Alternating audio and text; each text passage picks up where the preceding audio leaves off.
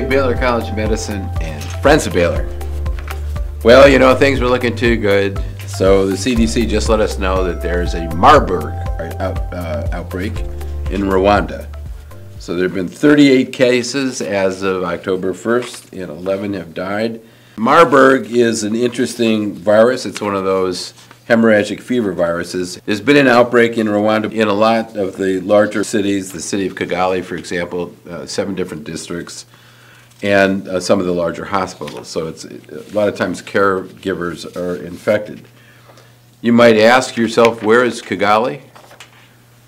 It is in Rwanda, which is right next to Burundi, and you can see there. Uh, and so why would they name it Marburg virus, you ask? I would, I would ask. Well, it's named after uh, the discovery of the virus in 1967 after it caused a bunch of outbreaks in lab workers in Marburg, Germany. So there's where Marburg, Germany is, nowhere near Rwanda. But seven people died from that outbreak, and as a result, it's been called the Marburg virus. As I mentioned, it's a lot like Ebola. It's a hemorrhagic fever. People have high, uh, very high fevers muscle aches, uh, often uh, vomiting, and severe headaches, malaise. Uh, and in some cases, people have so much hemorrhage that they actually die from their blood loss. There is currently no vaccine, but there are two vaccines in development, and there's presumption that some of the antivirals might work against these viruses. The fatality rate's very high, 88%. There have been cases in neighboring uh, Tanzania and Uganda and basically what happens is it's, it, it is another one of those things that lives in bats. It's transmitted uh, from bat to people from the Egyptian rousette fruit bat, which is a very large bat. Bats are getting a bad name. They harbor everything. Anyway, bat infects a man, and then from people, it's transmitted pe person to person through uh, contact with bodily fluids. Uh, so often, if people are close or get in contact with blood, in some cases, uh, from instruments that, uh, uh, where people have, instruments have been in contact with people, or when uh, people have died from the disease during the burial process, if you're not really careful and you get in contact with the person, uh, it's a real problem. So the, it's because of the number of cases, uh, both the WHO and the CDC have put out an alert, mainly for people like institutions where you may be having folks traveling from Rwanda. Right, so medical centers who have staff that are from there need to be uh, very clear for there's not a problem, and and it's from temporary isolation. Uh, West Nile has continued to be a huge problem in the U.S. Almost all the states, 46 states are now reporting cases. We had almost a thousand cases, 684 neuroinvasive disease. Uh, that means probably there's been probably 6,000 cases because it's usually one in 10 that get neuroinvasive, but they've only reported about 1,000. So it's vastly underreported. In Harris County alone, in Texas, our county, uh, there have been 11 cases, but 23 uh, samples from blood donors have turned out positive. So again, so that means a lot of people are getting infected, but not everyone is manifesting the disease entirely. And of course, in Maryland, there have been 19 cases, and probably the most prominent one is the mosquito that got Tony Fauci in his backyard.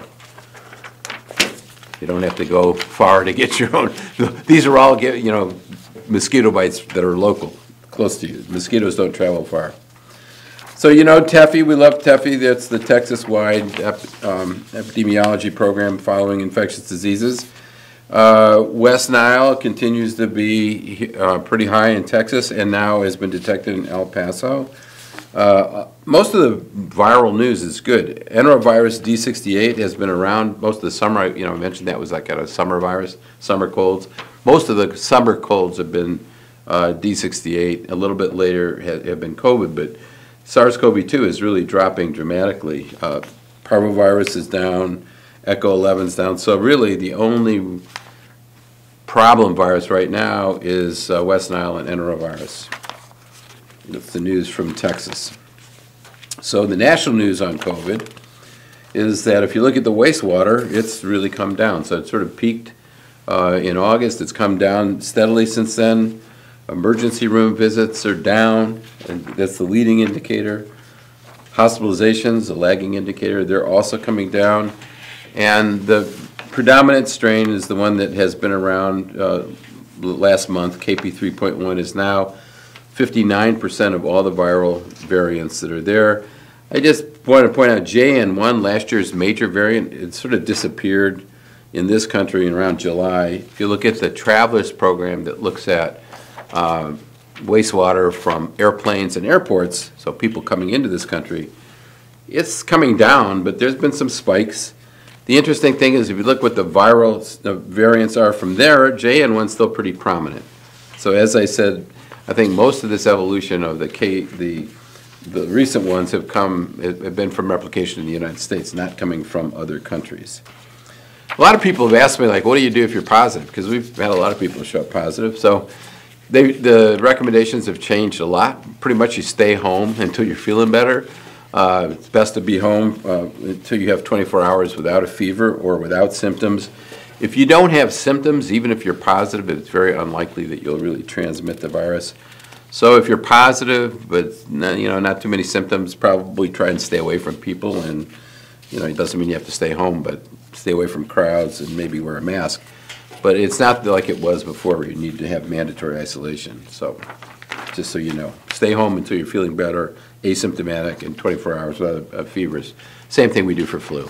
Exactly the same recommendations for flu.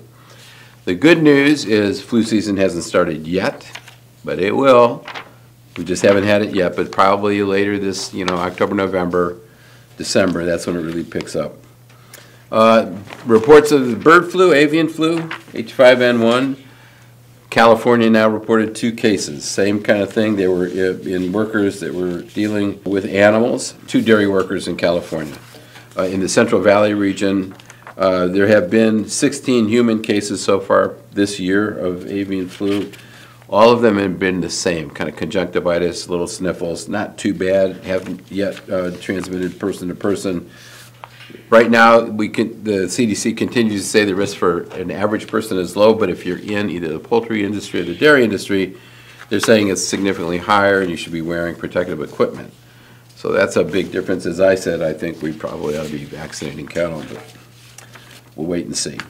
The sad thing about H5N1, we, I've talked about it being in sea lions a few years ago, now in dairy cattle. Unfortunately, it also is in big cats. So in Vietnam, 47 tigers died, and three lions and a panther also died from avian flu, probably from infected chicken meat that was fed to them. Now, last week I got a, a, a question can you get it from chicken? And I said it's unlikely. Uh, I still think it's unlikely because the way it's processed and steamed and all that kind of stuff.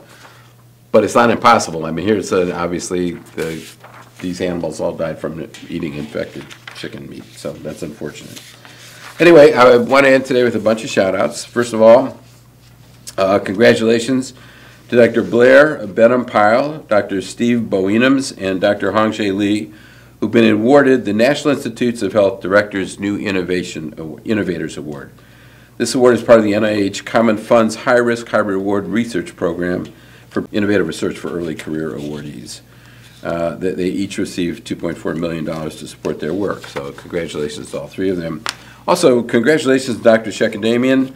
She's the chair of the Department of Pediatrics and pediatrician in chief at Texas Children. She won the Distinguished Career Award from the American Academy of Pedi Pediatrics. It's a real honor. And congratulations to Dr. Uh, Nancy Butte, who, who uh, an emeritus professor of pediatrics, who received the Samuel Fomon Nutrition Award. Uh, next week, we have the Baylor College of Medicine Alumni Association Awards, and we will honor 10 Baylor College of Medicine alumni uh, and faculty for their career, in, uh, their career accomplishments in innovative research. Uh, Dr. Bud Frazier, the class of 67, professor in the DeBakey Department of Surgery at Baylor and co-director of the Center for Preclinical Surgical Interventional Research at the Texas Heart Institute, will receive the Lifetime Achievement Award. He has been a major leader in the development of a, a mechanical heart. Uh, we have other awardees that will include uh, Samitri Agrawal, Kelly Cohen Fine, Benjamin Frankfurt, Gioconda Guadiano, Amy Langley, Atul Maheshwari, Joe Petr Petrosino, Mark Uden, and Jack Zenefeld. So congratulations to all those faculty who won awards. October is Breast Cancer Awareness Month, so members of the Baylor community are invited to show their support by wearing pink next Friday And today is uh, uh, Yom Kippur uh, this evening, and is uh, a day of atonement that we observe uh, for all of you who are uh, of the faith. Anyway, have a wonderful weekend. I can't wait to see you next week.